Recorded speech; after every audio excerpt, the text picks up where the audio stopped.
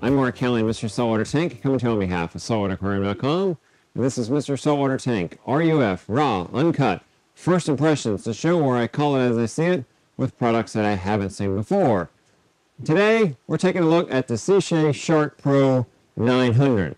And disclaimer, I have a little bit of history with a former version of this product, the Shark ADV.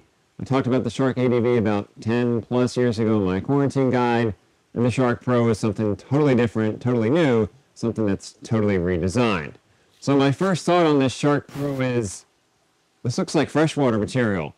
In a lot of ways, that's true. This product is really meant for freshwater, and there's some applications for saltwater where I see that this makes a lot of sense. The first one is, those of you that have all-in-one tanks, in the sense that it's just a glass box. There's no filtration in the back.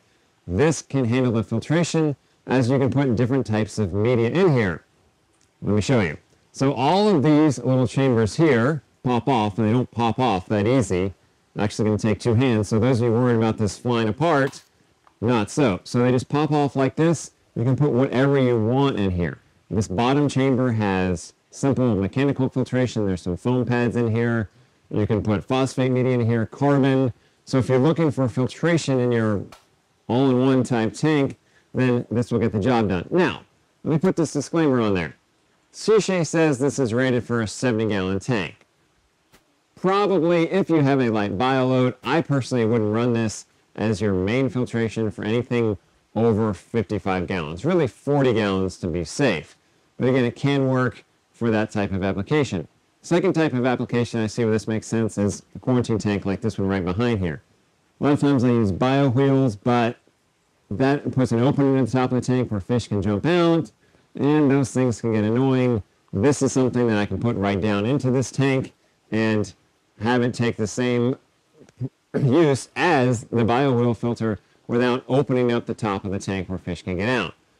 You can put different types of filtration in here. Say if you're running copper like I am at the moment on these guys, when you're done with that medication, add the activated carbon in here and then that's going to suck out your medication. Or you can put the Cuprisorb right down in here and take it out. But in the meantime, if you just want mechanical filtration, because there's not a lot in quarantine tanks, you can have sponges in all these sections and that will provide you the mechanical filtration that you need. Also, you can soak these sponges in your display tank sump have them full of nitrifying bacteria. When you need to start your quarantine tank, grab those sponges, put them down in the shark, and you're ready to go. Now, the shark will run with one, two, or three of these, so if you have a smaller quarantine tank, you can just put these in. If you have a larger one, you can run all three. You have a choice there. So it makes a lot of sense in a quarantine tank. Last place where I see this making sense in a saltwater type aquarium is down in your sump. Those of you that really like clean sumps, you want to have everything spotless, but you don't want to be vacuuming all the time, put this down in your sump, turn it on, it's going to circulate the water in your sump and pull the water in through the mechanical filtration and help pick up that detritus. It's got a directional nozzle that you can clip on here so you can push that water a certain direction to get it down in here. Okay, so that's how you use it in a saltwater tape application. What is this thing like to really use? Well, a couple things that I'm seeing here that I like. One, there's no suction cups to mount this thing to your tank or to your sump, which is great. Look, suction cups work okay, but they're hard to get off. If you get this in not the right place, you like, kind of want to move it, you're like jerking on these suction cups, trying to get it off. This has a magnet that will work up to half inch glass or acrylic material if that's what your sump is made of. It simply goes on here and it creates the bond between the shark and the glass. Now there's a catch to this. This connects to the shark with a magnet, and then this magnet attaches to the outside of your sump. So there's actually two pieces to this. One, this piece attaches like so. This stays in your sump. This goes on the outside of your sump.